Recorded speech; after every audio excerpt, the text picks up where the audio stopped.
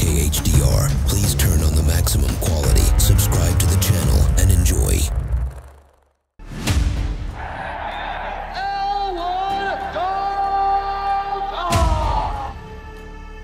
Once Knox is on the job, it's over, baby. I should warn you. People have a certain way of getting things done around here. Your coverage good? Like, you have dental? Oh, haha. A friend of mine suggested I come talk to you. I own a roadhouse out in the Florida Keys. I just slapped you. Are you alright? What? Hey, fellas! Looks like you're having a smacking night! Lately, it's been attracting the wrong clientele. Tell me about this bouncer. Yeah, I saw nice, like he's Mr. Rogers or something. But then he'll haul off. That guy's got a knife under his shirt.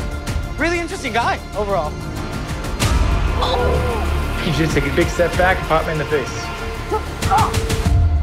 So you like to fight. You ever win? No one ever wins a fight. I got a tip for you. Don't let no one get this close. It takes a lot to get me angry, but when I am,